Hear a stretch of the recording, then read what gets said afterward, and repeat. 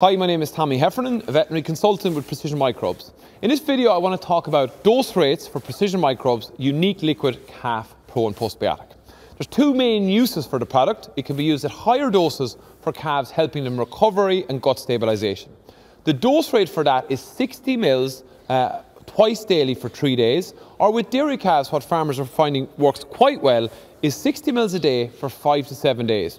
Now, it can be fed orally, which often with suckler calves you're going to do, but with dairy calves recovering, one of the advantages is if you feed it in the milk, it really helps with appetite and recovery. So that's your recovery dose rate, particularly for a dairy calf, 60 mils a day for five to seven days.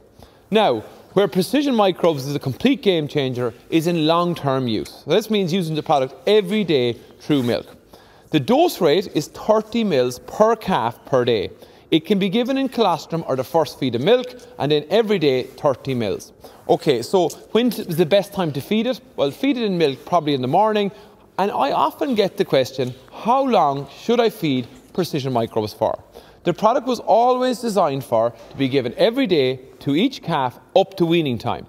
Now, some farms will decide to feed it for a shorter period of time where they're just trying to provide digestive protection for the young calves. So that can be 30 mils for 30 days. So there's two real regimes, I think, when we look at long-term feeding. That is the 30 mils for 30 days regime, starting at birth. But a lot of farms now are moving to long-term daily feeding of 30 mils right up to weaning.